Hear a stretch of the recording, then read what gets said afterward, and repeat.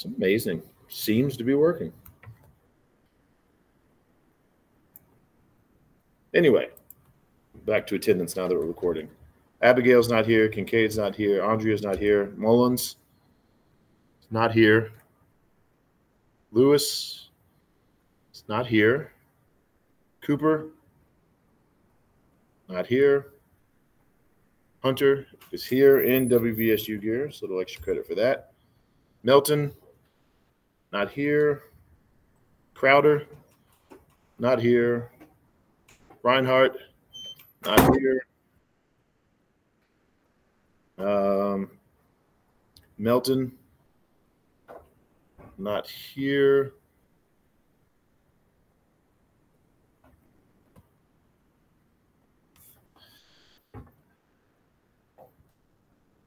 Um, sorry, as a reminder, make sure you guys are logged into your WVSU email accounts if you tried to join online.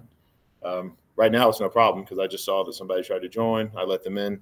But if I'm in the middle of the lecture and you're like 30 seconds late, I won't see it and then you'll have to miss out on it. We don't need that, especially considering how far behind we are. Anyway, back to attendance. Julia is online. Talbert is not here. Kennedy's not here.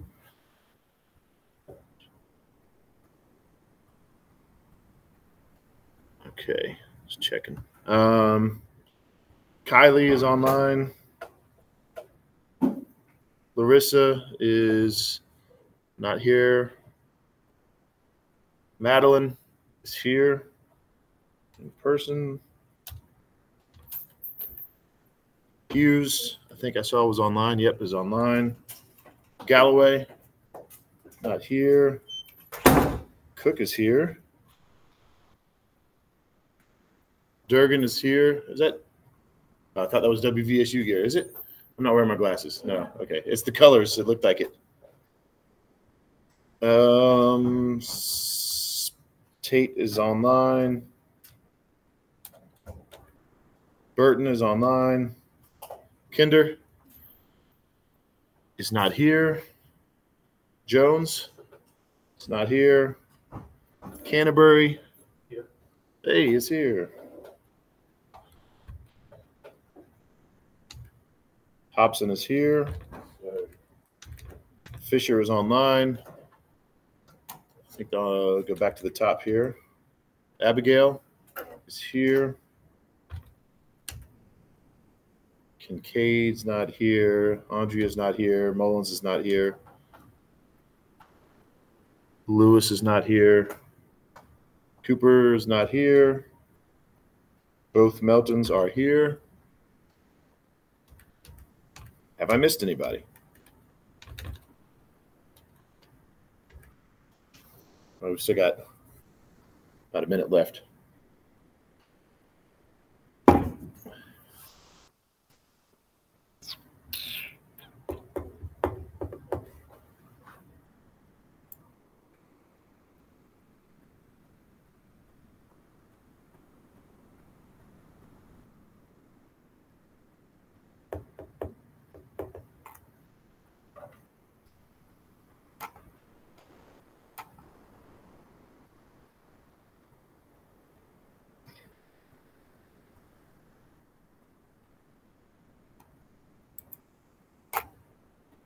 Uh, well, it's eight.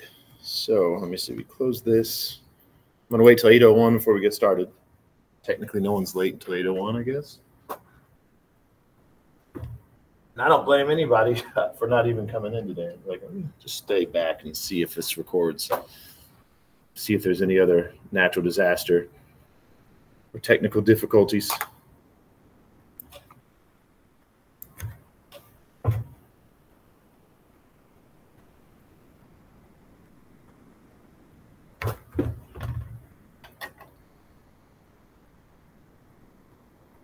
Did anybody get to see the full total eclipse? Everybody?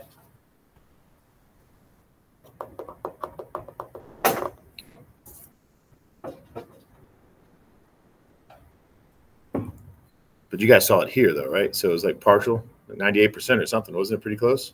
No? 93? Yeah. Did, did you feel the temperature change? we were in Dayton. It was noticeable because it was hot and miserable. And then it got chilly. Anyway, it's 801. Let's get started. So, you guys have spoken. I think this is a good plan. We're just going to keep going. We're not going to do extra lectures. We're just going to keep going like nothing happened, except I'm going to go very quickly, which is going to suck a little bit. But the good news is, you know, if you look at that document, and I'll, if you don't know the document I'm talking about, send me an email and I'll send it to you. The document that has all the list of lectures, right? So if I do a lecture like today, for example, and I'm going like so quick, and you're like, what did he just say? Then, if you want, well, you can meet with me and I'll redo the lecture for you slowly if you want. Or you go to that document and you know how I'll post what chapters we did. You just scroll down that document and I go to last semester and watch the lecture I did back then. Does that make sense? So if I'm too fast for you today, you can go watch the slower earlier earlier version. So that's what we're going to do. All right, let's jump into it.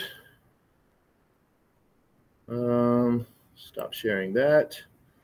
Start sharing this we're going to finish up very quickly chapter nine because the last thing we only have prions are the last thing we have to talk about. Um, those are really simple, and I believe we talked about them before when we talked about proteins. So that part will be very quick. Then we're going to jump directly into chapter 11. So to be clear, we are skipping chapter 10. I never planned to do chapter 10. The only reason it even says chapter 10 on Moodle is because I'm thinking maybe one day I might do the PowerPoint and all that and have that as extra credit for future students. But right now, everything under chapter 10, even though it says chapter 10, all those links are for chapter 9. So we're skipping chapter 10, going straight to chapter 11. Um, and I know I said this in the announcements, but just definitely want to make sure you know all due dates from last week have been extended until this week. Not that we've been that picky anyway. Now, I may have emailed you something and said, hey, this is due, this was due on Friday or whatever, and given you the dates that it should have been done. But you know, if you're late, we've been dealing with a lot. Don't worry about it. Just do the best you can. But make sure you prioritize doing the stuff, the old stuff. You know what I mean? Like if you haven't done lab nine, make sure you do that before you do lab 10. And I'll just extend the due dates if needed. Good? All right. First word for attendance, the first official word for attendance for you guys, this will be extra credit. For you guys online, make sure you send it because this is your attendance. Will be, let's say, brain is the first word for attendance. That word right there. So anyway, back to this lecture, the end of chapter nine. Um, chapter nine was obviously about molecular biology. So we talked a lot about genetics from the molecular point of view, like how DNA is replicated and how we go from DNA to RNA to protein to, to catch you up. Then we start to talk about viruses and non-infectious diseases. Um, and we've talked about viruses. That was the last thing we talked about before we we left weeks ago. Um, and then this is the last non-infect, or excuse me, it's an infectious particle, but it's um, not a virus. It's called a prion. What is a prion? It's an infectious protein. Now, as far as the exam is concerned, that's all you really need to know. We could just leave it at that. It's an infected protein. If you get any questions about prions, that's what it's going to be. But just so you know, prions cause brain disease. We talked about this earlier in the in the uh, semester. I gave you a list of the different diseases like mad cow disease, obviously for cows, um, chronic wasting disease for things like deer, kuru for things like human, and that was um, spread by cannibalism. Um, so what happens is you get a cell that has a normal protein, and it's uh, it's I don't want to say attacked, but exposed to this prion, and then then that one also gets misfolded. And that might not sound like much, like oh, who cares? It's just misfolded. But remember, this whole form and function thing is something we see in biology a lot, especially when we're talking about proteins. Right? Proteins are all about the shape. So obviously, if you're um, misfolding a protein, you're changing its complete function. And not only that, but in this case, it actually puts little holes in your brain, which if you look up the actual word for, um, for example, mad cow disease, it basically means holes in the in the brain. Anyway, any questions about prions? All right. Oh yeah. So here's the list again. Here's some some examples. Again, I'm not going to test you on any of this. If anything, you just need to know that prions are infectious misfolded proteins um, but yeah, these are some examples. And if you want to, you can look up more examples or you can write about any of these for independent work, which is technically past due. But again, we've been dealing with a lot. So do what you got to do. Um, scrapie in sheep, chronic wasting disease like, disease, like I already mentioned, mad cow disease that I already mentioned, uh, Creutzfeldt Jakob disease, which is like a different version of Kuru. Um, of course, it's spread differently, but those are just all examples. So any questions about prions? All right. Um, again, this PowerPoint was based off of the old textbook. So I kept this in there so anybody can read it if they want for the um, reading the PowerPoints. But I'm not going to test you on any of this at the end of any chapter where it says evolution connection. That's a thing from your old textbook. So read it if you want. Don't read it if you don't. And on that note, we are done with chapter nine. So let's jump into chapter 11, which is about evolution. Speaking of which,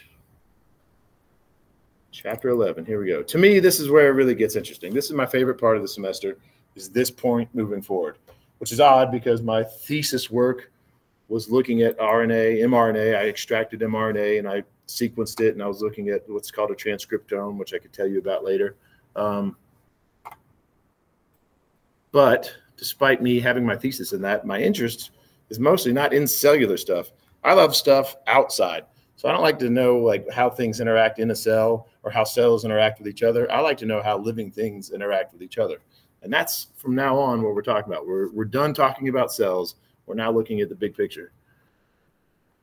So here we go. Chapter 11, evolution and its process. So again, just like this last chapter, I based this PowerPoint off of the old textbook PowerPoint. So the information is the same. It's just given in a slightly different order. So just keep that in mind if you're one of those people who like religiously reads the textbooks, which good on you if you are. Um, keep that in mind as we move forward. I would usually I like to play this guessing game so we can have a dialogue, but we are in kind of a hurry. Um, again, your old textbook has these pictures, and it's like, hey, what? How does this matter to our everyday life? Um, not that some, of, not that all of these do, but let's talk about it really quick. Obviously, that's a picture of like a cherry tomato or something. That's a normal thing you can see in the grocery store. But the point that your old textbook was trying to make is that that's what all tomatoes used to look like. All tomatoes used to be that size until humans got involved and created them to be larger. That's something called artificial selection. You're going to learn about that. Artificial selection is a type of evolution, which is a good time for me to remind you. Evolution, that's the big blanket thing we're going to talk about. Then there's going to be all these sub, little different subcategories. So again, artificial selection is a great example of a subcategory of evolution. Um, this kid scratching his head. It's because he has head lice.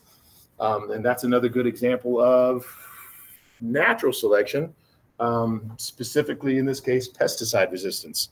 So what happens is, as you know, well, you might know, when a kid gets uh, lice, you can either shave their head and or give them lice shampoo. What is lice shampoo? It's basically uh, pesticides. So what happens is, you know, you apply the pesticides, you kill most of the lice. But sometimes there was something genetically different about a few of them, and they survived that first onslaught of uh, pesticides.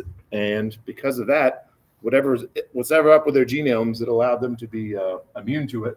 Well, when they recreate and when they procreate and reproduce, then their offspring should probably have the same genes that make them immune to the pesticide. So what we've done is created this pesticide-resistant head lice. And we'll talk about that later in uh, chapter two. And then this, these are cheetahs. Um, what you're going to learn later in this chapter is cheetahs nearly went extinct twice. Um, and because of that, they're still feeling the effects of it. You might think, oh, they rebounded. Even if their numbers have rebounded, they're still affected by it because their genomes have been affected. And we'll talk about that later in this chapter. So here we go. First thing we're talking about is the diversity of life. Now, in my old or the old textbook, this section was in just the same chapter as uh, the evolution chapter, but in the textbook you guys are using, it's a different chapter. So just to point that out, if you're following along in the textbook, this is actually chapter 12, this portion of uh, this PowerPoint. And then after we talk to that, we're going to jump back to chapter 11.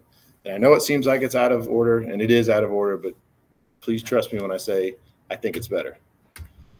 All right, taxonomy. I might ask you what taxonomy is. It is the branch of biology that um, deals with identifying, naming, and classifying species. Right. So when you hear someone say, "Oh, a new species of whatever was discovered," that's what we're talking about right there, right?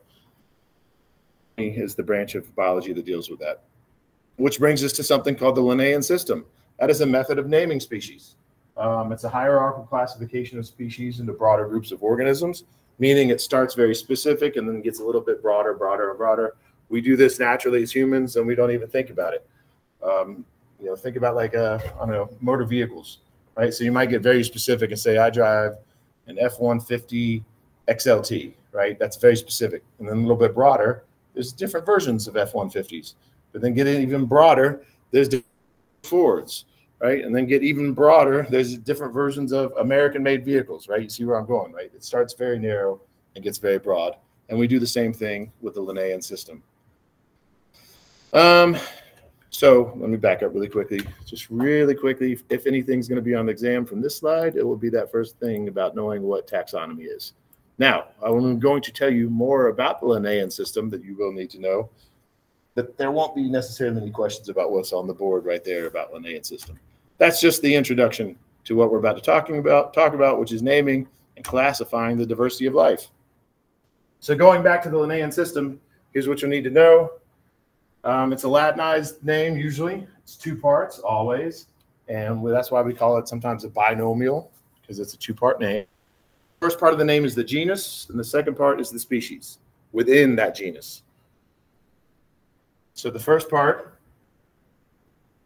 when we write it, it's always capitalized. Right, that first word is always capitalized, and the second word is always lowercase. And I'll show you that on the next slide. So yeah.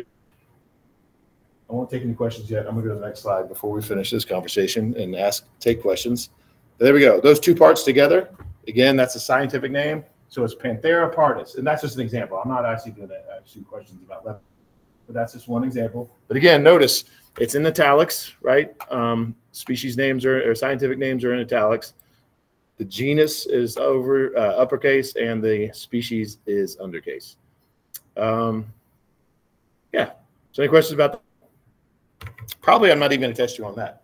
Um, but there will be a question where I give you some, and there's a question like this on the study guide.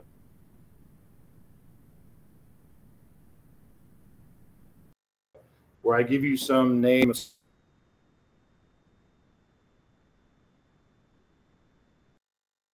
Well, you should remember that the first word is the genus, right? So you would say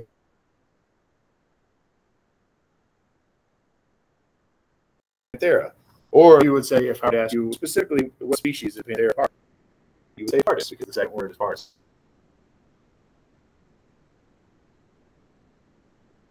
Does that make sense? A lot of people up here. I'm from down south, so it makes a little bit more sense. Does anybody know what that is? I mean, fish. Does anybody know what kind of fish that is? Well, it's right there. so it depends on where you're from. You might have different words for it, right? So when I the keys, we called it dolphin. Even in the uh, the menus at the restaurants, it said dolphin. But then that freaked people out because they would think dolphin like the porpoise. So they changed it to a word that already existed, which and that used to be a word that they would use like the Pacific, like uh, uh, Hawaii and places like that. So we just adopted that name. But again, that's one name for it. Um, Dorado is the Spanish word for it. Cheetah is the Japanese word for it. Point being, this is why we have scientific names. So no matter where on earth, or if you're a scientist and you're dealing with species, you have the same word, right? You're not dealing with these common words that can be different from one to the other. So really quickly, I'm put an X through this as an indication that I'm not going to test you about the scientific or uh, common names of the, of the mahi-mahi. Um, Linnaeus introduced this system of grouping uh, species into hierarchical categories. Your book points that out, so did I, but I'm not going to ask you who did it. So that first bullet point is not important as far as the exam is concerned. This is not a history class. I do wish we had a bio class, but we don't. Um, taxonomy extends to progressive, broader categories. So again, the most specific you can get is species. And then above that, you have genera, uh, the genus, which is you know a little bit more broad. And then you have families, and then you have and then you have classes, phylum, kingdoms, and domains. This is what you need to know for the exam. You need to know those back and forth in that order. Um, hold on. I might need to come back to the slide. No, this is the slide you need to look at. So again, those are just examples. The Eukarya, Animalia, Chordata, Mammalia, carn Carnivora. You don't need to know that. What you do need to know is the order, right? The most broad category is the domain.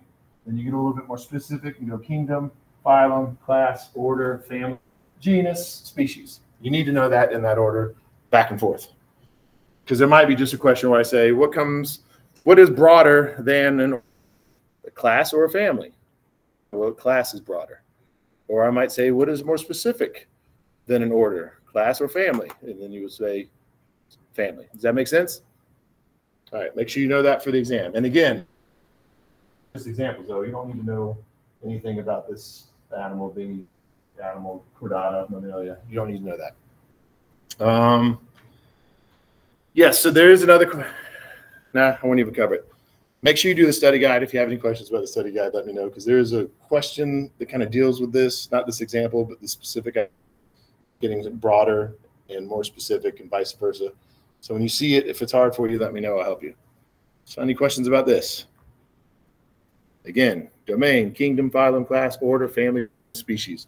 Also, if you were to look this up, this is just like, right? It also gets, there's also something called um, like a subclass order, right? So there's also in between categories that we don't even teach for this 100 level non-biology major course. Point being is this is what I'm going to teach you. This is what I'm going to test you on throughout your life. It'll help you. Just keep in the back of your mind that this is the basic version, and there is a slightly more version that has a little bit in between categories. Here's another picture from a different textbook. Same thing, right? So again, domain, kingdom, phylum. Oh, it's a good example. Subphylum, right? Which I'm not going to test you on. Um, class, order, genus, species. But I do like this picture. That's why I included it because it shows all the different things, right? So if you're just talking about mammals, there's all these different types of mammals. If you're talking about animals, there's all those different types of animals, so on and so forth. All right, so the criteria to place them in these different uh, categories is ultimately arbitrary, meaning humans decide, right? I mean, a group of people do it, and they do have some sort of um, system that they use to do it. But ultimately, it is arbitrary because the system we use was also created by human, right? So after you learn about the processes by which the diversity of life evolved, we will then introduce the classification system based on the understanding of evolutionary relationships. Meaning, so yes, it is arbitrary, but now that we know evolutionary relationships and now that technology with the, the way we can sequence genomes, we're starting to rearrange things. Usually they're not big things like giraffe isn't going to be rescheduled or reclassified from a mammal to a reptile or anything but there are some things getting shuffled around towards the bottom, more specific areas. If you download the PowerPoint, you can click this uh, link and watch a video about taxonomy. Nothing on this slide will be on the exam. This is just kind of letting you know, hey, this is all arbitrary, but it's getting better as tech. Another thing you definitely need to know, this is going to be throughout the rest of the semester. We're going to talk about species a lot. Because like I said, we're done talking about cells for the most part. We're looking at the big picture. Matter of fact, species will be the next word for attendance. Anyway, what is a species? It is a group of actually or potentially interbreeding individuals. So, for example, well, yeah, let's just leave it at that for now. One species is distinguished from another by the possibility of matings between individuals from each species to produce fertile offspring. So, in other words, if they can't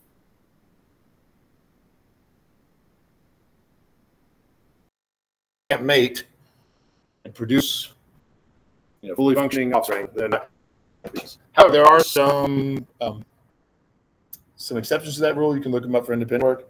For example, and I don't know exactly which one, but you guys of a liger. It's cross between a lion and a tiger. Then there's also the other version, which is a tigon.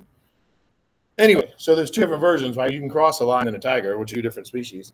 And if I remember correctly, well, definitely at least one of them produces offspring, but they're not fertile And if I remember correctly, the other version might produce a fertile offspring, but I don't remember. You can look it up for um, for independent work. But generally speaking, this is the criteria we use to define species and say, all right, this is one species. So, any questions about that slide? All right. So that brings us to something called speciation. Like, how do we get these different species? How do we have like, why do we have these two closely related species? Why aren't they the same species? Well, it's probably because they came from a common ancestor, and then speciation occurred. And what is speciation? It is the formation of two species from one original species. Now, sometimes you might have one original species that turns into two new species. That looks horrible. I hate this screen so much. Or you might have one species that remain the same species, but then also split off to form two uh, new, one new species, right? So you might keep one old one, get one new one, or you might have two completely new ones. But here's something you'll probably need to know for the exam. I should say probably, maybe. I'm going to say I might ask you about these things. But there's two different types of speciation that we're going to talk about separately, but this is your introduction to them. The first one is called allopatric speciation, and that involves the geogra geographic separation of populations and then there's some other words we're going to talk about later, dispersal. Uh, we'll talk about that later. But most importantly for the exam, because I probably ask you that, if I ask you anything, just know what allopatric speciation is. It involves graphic separation of populations. And again, on the coming up slides, we'll talk more about it. The other one is called sympatric speciation, and that is speciation within a parent while remaining in one location. So basically, allopatric, different places, sympatric, same. Any questions about this so far? Um, here's an example. I, I, think I did not get these pictures textbook. I think I took them somewhere else. I don't remember. But if you can, I'm going to go to the geology lesson. Not that you need to know the geology of this, but this is just an example.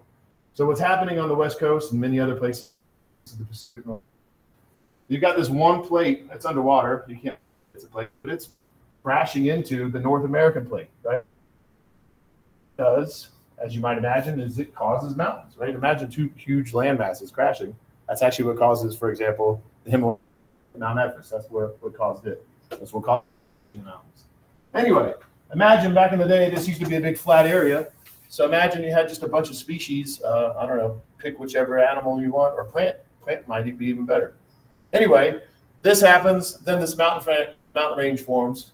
So now we have I don't know. Let's just choose some sort of plant. We got one species of plant another species of plant or the same species on this side of the mountain. At first, maybe they were the same species, but after generations and generations and generations, they're going to be different. And this is kind of a geology lesson here. What happens is all this weather comes in from the it's got a lot of moisture in the air, obviously, because it's coming from the Pacific. It hits Seattle, it hits this, and it generally can't get over it. So what happens is it gets dumped. And if you think of Seattle as a like a rainy place. Now you know why. It's because that moisture can't over that mountain range. So for that reason, for example, that Seattle area is very, very wet. Our area over here on the other side is very, very dry. So again, you may have started with one, but then things changed. So within those different groups of of the same species, they're they're dealing with different things. So now, generation after generation, few individuals in the species that are really good with being wet, they survive. They passed on their genes. The ones that are not really good at being wet on this side, on the other side, the one died, right? But the one good at being dry, they survived and passed on their genes. After generations and generations and generations, eventually they're just going to be different species. And that's just one example. I really oversimplified it, but that helps you uh, visualize what we're saying here. For allopatric speciation, right? It was that geographic separation that made the difference. And there's so of this you can look into, like islands and new rivers, new lakes. Anyway, any questions about that? It's just an example. I'm not going to ask you about the Cascades or anything about the, the weather stuff I just talked about or the geology stuff. Then we have something called radiation.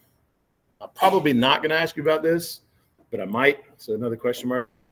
That is when the population of one species is throughout an area. Um, and then finds a distinct niche, isolated habitat. And formally to talk about that niche is like their job, so to speak.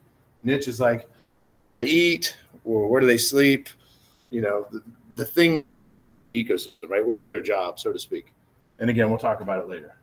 Um, and all this results in varied demands of their new lifestyle lead to multiple speciations events. So again, Patrick speciation, we're still talking about speciation due to being separated.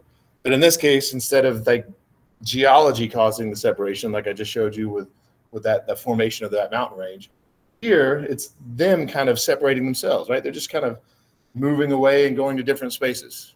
So imagine some, I don't know, bird species coming to Florida and it starts in Florida and then works its way out to the rest of the United States, it might eventually become a different species. As some of them stay in that wet, damp Florida, and some of them might go to, I don't know, the dry Southwest, right? Some of them might go to really cold northern spots.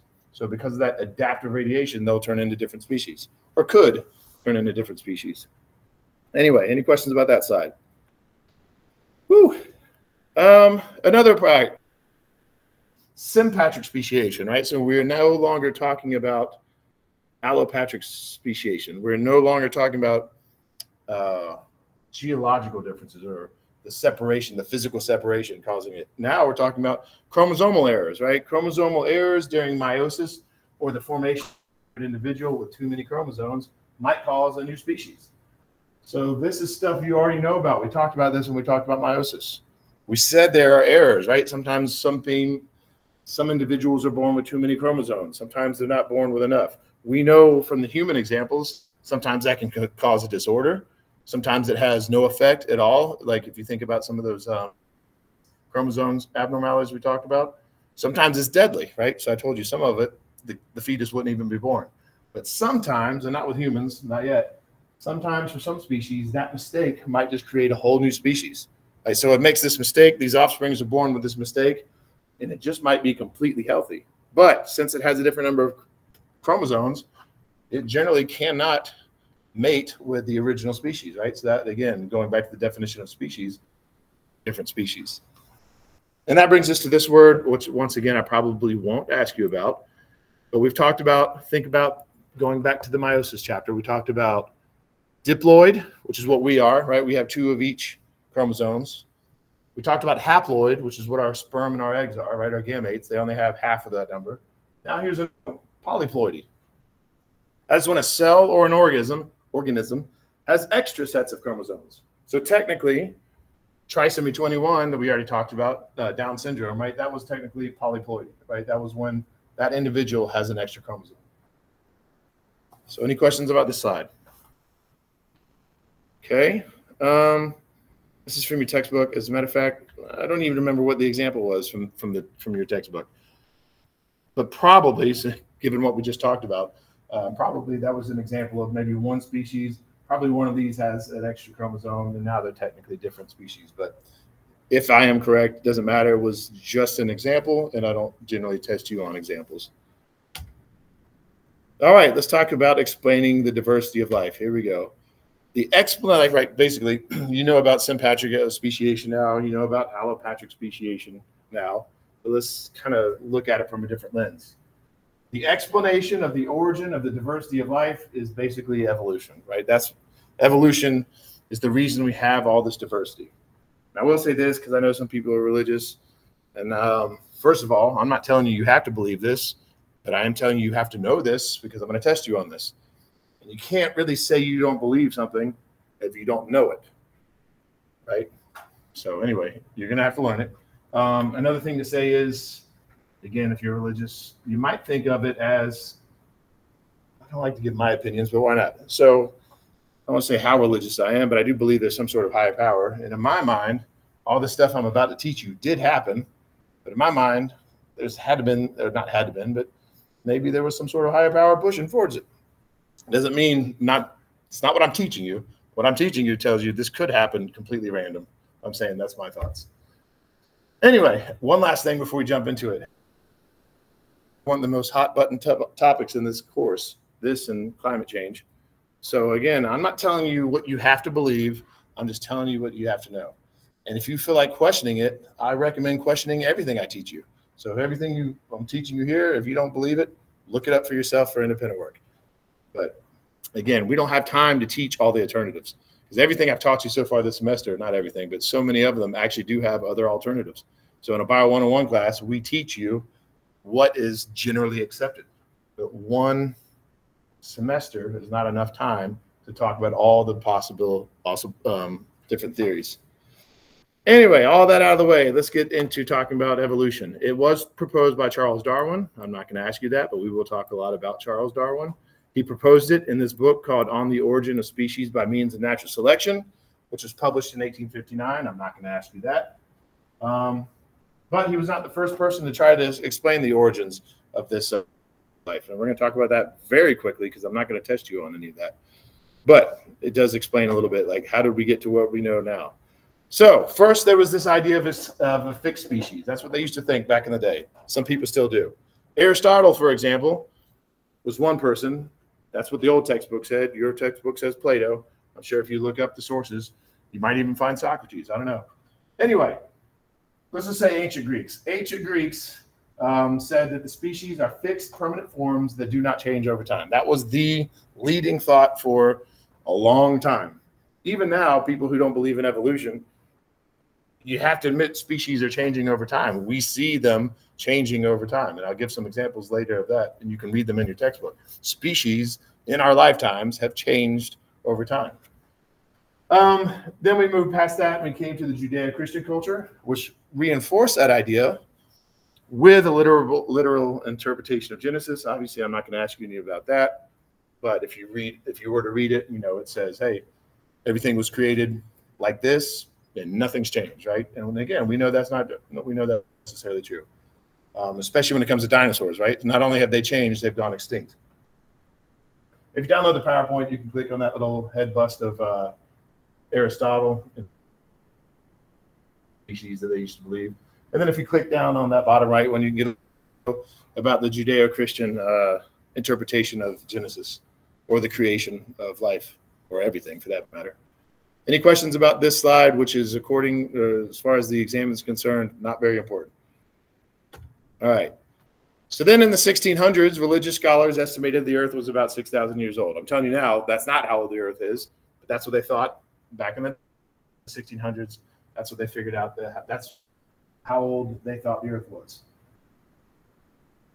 Species came into being relatively recently. Right, 6,000 years might sound like a long time, but not that we now that we know that the earth is billions of years old. 6,000 years is nothing. Um, but back then, that was the thought, right? and it dominated for centuries. And again, in some cultures today, it still does dominate. Some people still don't believe that the earth is older than 6,000 years old. Some people still don't believe that animals, uh, dinosaurs existed and went extinct or didn't uh, existed, for example. Anyway, while all this was going on, we had naturalists, which are just a certain type of scientist, grappling with the interpretations of fossils, right? So all these things like, all right, well, nothing's changed, but then they're finally how does that work out? If nothing's changed, why do fossils that look different than things that are alive today? Similar, but different. Fossil, um, I'm probably not going to test you on the definition of it, but I'm going to use the word a lot. No, I might. Anyway, a fossil is the imprint or remains of an organism that lived in the past. Imprints or remains, right? So it could be bones, could be hardened poop, could be a footprint, all kinds of stuff. And we'll go back to talking about fossils. So I won't ask you if you have any questions about it yet, but I will later when we talk about them a little bit more. But are there any questions about this slide? It's relatively unimportant as far as the exam is concerned, except that third bullet point that we're going to talk about later. All right. Fossils were thought to be the remains of living creatures back then, right? So, for example, that thing down there, they used to call those snake stones, and they thought that those were coiled bodies of snakes, right? That every time they found them, they had they were headless, right? They never found one of those that had a head, so it made so no sense to them. Like so, again, they thought those were dead snakes, but never could figure out that where where all the head ones. I bet they probably argued about it too. I wish I could have been there. Well, I wish they had social media back then. They probably argued with each other, like, "You're you libtard." Is you know, we, obviously something bit the head off, and then they'd respond like, "Oh, you Trump tard." obviously they're you know they probably would have argued like they do today, but they didn't have the ability to do that. But anyway, that's a snake stone. Just an example. I'm not going to ask you about snake stone. The point is they're finding these fossils, and these fossils made them think about the the prevailing thoughts of the day. Like, is the world really only six thousand years old? Have species really not changed? So that's the point that I'm getting at there with the fossils. Then there was other discoveries in the 1800s that included fossils of gigantic, uh, for example, the ichthyosaur, which translates to fish lizard. Not that I'm going to ask you any of that. This is just an example. It can many scientists, many people have extinctions that occurred. So not that I'm going to ask you this, but that's about when it started happening. In the early years, finally scientists started to come around and like, okay, obviously there's been a whole bunch of species that have just gone missing, right? Um, but again, the date, I'm not going to ask you about that. I'm not going to ask you about the ichthyosaur, which is just an example, but yeah, and if you click that again, if you download the PowerPoint and click that picture, it's actually a link to a little video that you can watch about the ichthyosaur. The next word for attendance, you know, underline it. I'm not going to say it, so that's it. Two. I'm just giving you like, you see anything like I'm giving you one example, you can look up other examples for independent work. All right. So again, just to remind you the big picture of what we're talking about right now, step it back a little bit. We're talking about how Darwin did discover natural. first to explain natural selection and all that, but he wasn't the first. He was just the first to do it correctly. There was other peoples, right? So we already talked about uh, the ancient Greeks. We talked about the Judeo-Christian um, uh, religion. So now we're talking about some other about some other people, specifically a guy named Lamarck. And I'm almost definitely not going to ask you questions about him. On insight to, to what things were, were like back then. Oh, also, let me throw this out there too. Anytime I say I'm not going to ask you this question on the exam, uh, there's a possibility I might throw it out there as for extra credit. But if I say I'm not going to test you on it, that means you're not going to lose points for it. Anyway, naturalists were comparing these fossils to things that were alive, right? And they're looking at them like, all right, well, this looks similar to this species, this living species in this way, but it's also different in that way. So then in the early 1800s, there's this guy named Jean-Baptiste de Lamarck, excuse me, or Lamarck for short. And he suggested that the best explanation for these observations is that life evolves. So even though this isn't a history class, and I'm not going to teach you or test you about Lamarck, basically we consider him the first person to suggest that life evolves, right? He didn't get the method correct, but the idea that life does change, species do change, um, he's credited as being one of the first to uh, say that. He explained slash proposed that evolution is the refinement of traits that equip an organisms to perform successfully in their environment. True. We know that to be true today. It's the refinement of traits that equip organisms to perform successfully in their environment. So if you had a bunch of white moths and a handful of black moths, and then you cover everything in smoke, those handful of black moths all of a sudden have an advantage, right? So generation after generation, you're going to have more black ones surviving than white ones. So they're going to be the ones passing their genes down. Over time, that population is going to change. You're going to have eventually more and more and more moths population, right? Like you learned in math. And that is an organism, that is equipping an organism to perform successfully in their environment, right? Um, and we'll come back to that thought too, because we're still just talking about Lamarck, which I'm not going to test you on. So again, that part was correct, but he suggested how it happened, and that was not correct. He suggested that it happened by using or not using body parts. An individual may develop certain traits that passed on to the offspring. In other words, by his definition, you know, you have two people who work out all the time, they're really in shape, have really big muscles, and when they have offspring, they're going to be more likely to be big, big muscles, right? But that we know now that's not how it works, right? But that was the thought specifically, that was just an example I made up. His idea, one of his his actual example was giraffes. He thought like a giraffe spent its all all of its day stretching its neck trying to reach the leaf, but they do do that. But then he thought because they were stretching their together and had babies, their babies would be slightly larger because they had been stretching their necks, right? And we know case, and we'll explain how it happens later. But yes, so he, the idea that life evolves was the mechanism how it happened was mistaken. So his proposal that species evolve as a result of the interactions between the organisms and their environment was correct, and it did help the stage for Darwin. So any questions about this slide? All right. So like go back and talk about him. Again, I'm using from the last textbook. I do like the last textbook for many reasons. Like about it is they tell it as a story. And it's a lot easier for me, in my opinion, to learn something as a story than like this point six, chapter 2.7, right? This anyway, Charles Darwin, he was born in 1809 on the same day as Abraham Lincoln, February something, I don't remember. I'm he was fascinated with nature as a boy, which makes sense considering what he's known for. I'm not going to ask you that either. Uh, he quit medical school, right? So he started medical school because, again, he was kind of a scientifically brained, I guess you could say. But then he quit eventually because he found medicine boring. Like so, the actual academics of it, he found boring, and he found surgery horrifying, which makes sense because think about it. We're talking about when he was an adult. Because remember, he's the same exact age to the day as Abraham Lincoln. When he was an adult, think about like the Civil War times and surgeries. Horrifying. Not that he was here for that, but same time frame. And here's what I think is interesting, uh, but again, about it. He then, when he quit medical school, studied to be a clergyman. There's this big hot button. This is a big right between religion and science, and I hate it because I feel like they can coexist. And I don't have time for that right now. But it's not like he didn't know about religion, right? He studied to be a clergyman. So it wasn't like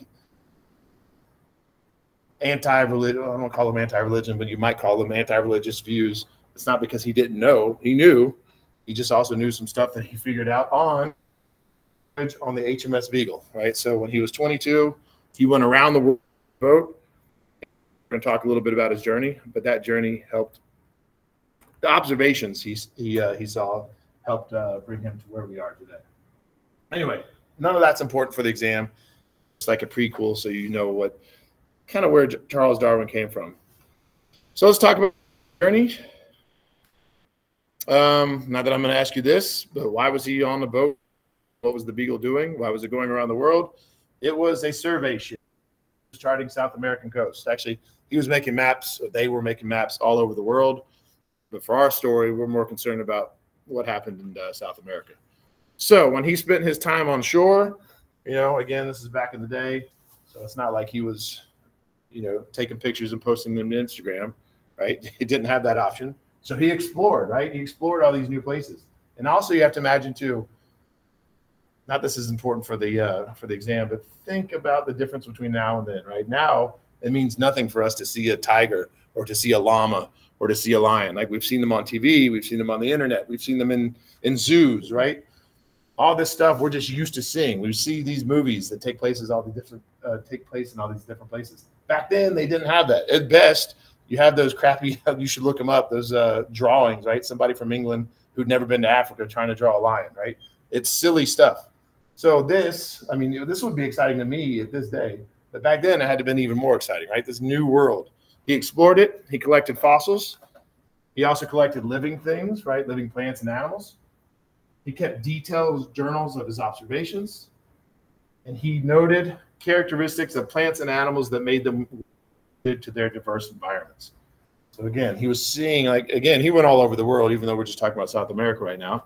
So he saw all these different environments and all these different things living in them, right? Deserts, um, mountains, islands, and yeah, we'll talk about it. Anyway, any questions about this slide? Trying to rush through it. This is one great example. So I'll talk about this here in a second, but he went to this place called the Galapagos Islands, which are a set of different islands. They're separate from each other. They're close enough to where birds could fly close, you know, back and forth, but generally speaking, they don't. More importantly, each of those islands, despite being kind of close to each other, they have different environments. So because of that, they have these different uh, bird species. And you can see they have different beaks. Your book goes into detail. I'm not going to ask you any questions about it, but it really is a good example, though, of how they have these different beaks because they have different environments. Therefore, they're eating different things. Like some of them might be eating insects, some of them might be eating seeds. Therefore, their beak is very important to how they eat, right? Like birds don't have hands, they have to manipulate their food with their beaks. Um, so, anyway, just an example. You can read about it. I'm not going to ask you any questions about those finches. But here's a here's a map of where he went. Again, I'm not going to test you on that. I find this very interesting because Darwin, Australia, is right around here but he never even went there. So I don't even know why they call it Darwin. Anyway, you can see where he went. And here's the Galapagos Islands. Let me really quickly say this because this is important to understanding how things may have worked. Um, I'm going to try to do it quickly though. So the Galapagos Islands are interesting in their distance from South America because they're close enough to South. Well, first of all, let me back up and say this: they're relatively new, right? South America has been there for a long time. The Galapagos Islands were formed by volcanoes relatively not that long ago. For us, it was a long time ago, but in the grand scheme of the, the history of Earth, they're relatively new. So you have all these things living on South America. Then boom, well, not boom, it took a while. Then those islands showed up. And when those islands were first formed, there was no life on them. Well, you know, no birds and plants and animals.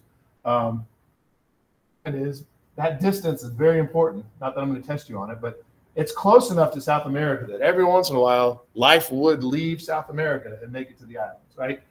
Now, maybe a bird was flying around and it normally couldn't make that distance, but there was a big storm and it blew it the other way, right? Or maybe some lizard that lives on South America landed on some raft of uh, palm fronds and it floated it over there. So that's the point. The point is, it's close enough to where life can and did go from South America to the islands that it's far enough away to where it's very rare for it to happen. And what I'm getting at is the fact that it's close enough explains how life did get there in the first place. but its distance away, the, the fact that it's so far away, explains why things changed on this island, right? Because once those animals and plants got there, they were in a different environment than they were to begin with in South America. And they weren't going back and forth and spreading their genes, right? Once they were there, for the most part, they were there. Keep that in the back of your mind. That'll be an important concept as we move forward for the next three minutes and some change. And then the islands themselves. Um, you can't see it very well in this picture, but again, depending on the species we're talking about, some some things could easily just go to all these islands. Some things, like tortoises that we'll talk about later, if it's on an island, a big old tortoise, like literally this big, that thing's not going from that island to that island, right? It's too big to make the trip. So once again, allopatric speciation, right? So one species may have came over from um, South America and landed on these different islands. But even here on these different islands, they're separated from each other. So again, allopatric speciation. Let's talk about his observations.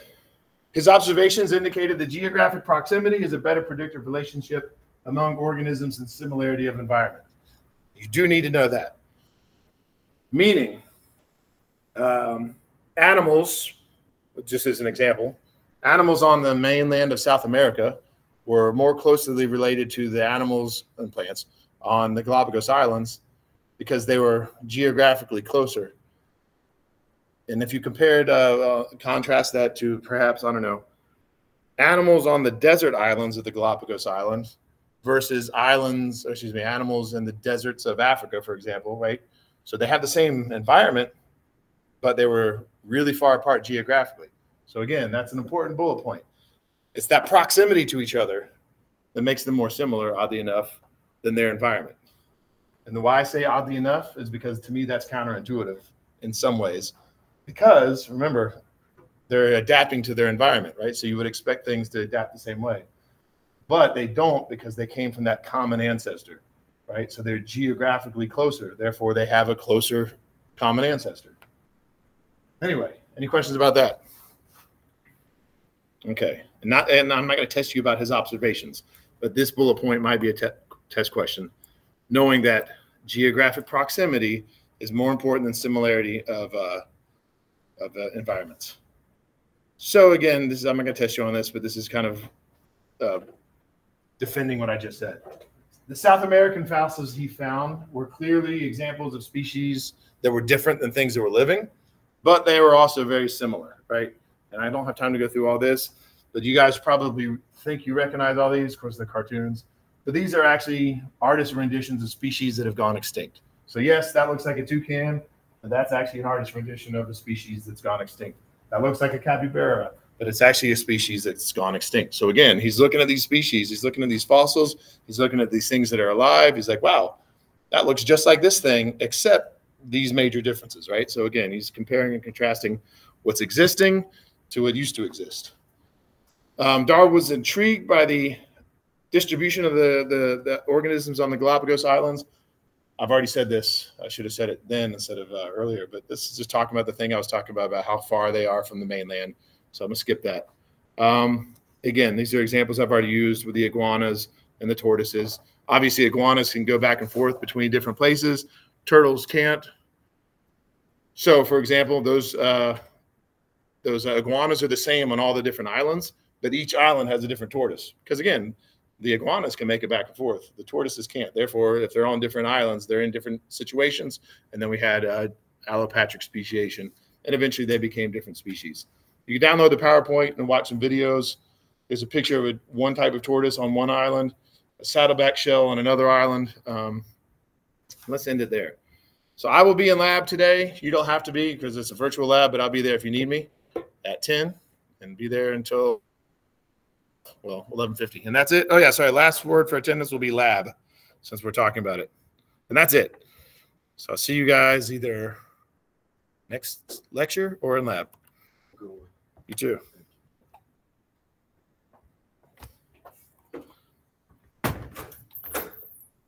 So again if that was too fast for you you know, go to that work, go to that sheet, and you can watch the uh, the previous semester versions of those uh, those lectures where I was slower. Oh yeah, it's a good time to remind you too. You can get extra credit for that, just like anything else. Like when you're watching those videos, it's just like you're watching this. The attendance words. If you send me those attendant words or whatever, um, directions I give on those videos, you can get up to 2.4 points of extra credit for, for watching them. And that's it. Well,